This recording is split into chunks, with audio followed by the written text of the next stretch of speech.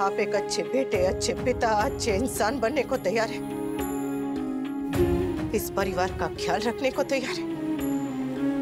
तो ठीक है। मैं चली जाती हूँ। डूड अब यहाँ रुकी ना तो सम्मान भी मर जाएगा। और आप तो जानते हैं कि आपकी बेटी आत्मसम्मान के बिना नहीं जी सकती। इसलिए मुझे इस घर से जाने की आज्ञा दीजिए, बाबूजी। इस घर का तुझे घमंड है ना?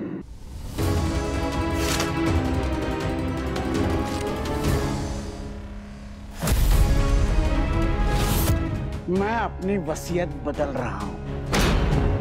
अब ये घर अनुपमा के नाम कर रहा हूँ।